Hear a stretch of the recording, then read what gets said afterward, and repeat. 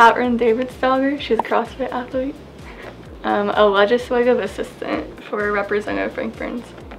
Whenever I'm out to dinner with someone and they're texting on their cell phone, go to the gym and hang out with my friends and family. Purple. The Outer Banks. Um, A. Baby A. There's so many. Um, I'm gonna say for King Country. Um, CrossFit. The best thing about Penn Highlands is the family-like atmosphere.